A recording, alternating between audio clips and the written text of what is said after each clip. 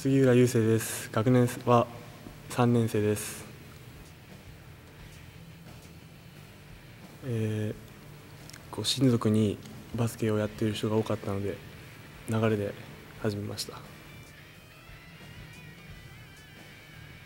本格的には中学生から始めました。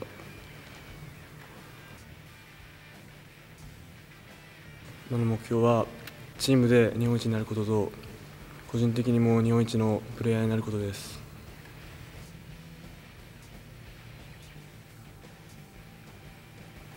あ練習中からその自分が倒したいというかこいつには負けたくないなっていうやつを倒すつもりでその練習中にマッチアップするやつとかと戦ってます。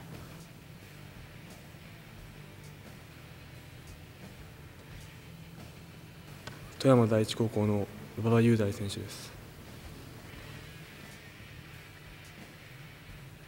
愛心シーホースの金丸康介選手です。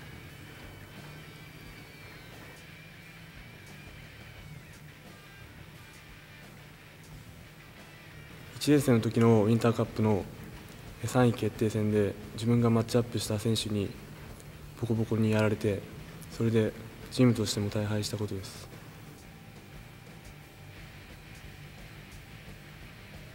入学してから一度も勝てなかった福岡第一高校に去年のウィンターカップ県予選で勝利してウィンターカップに出場することが決まった時です。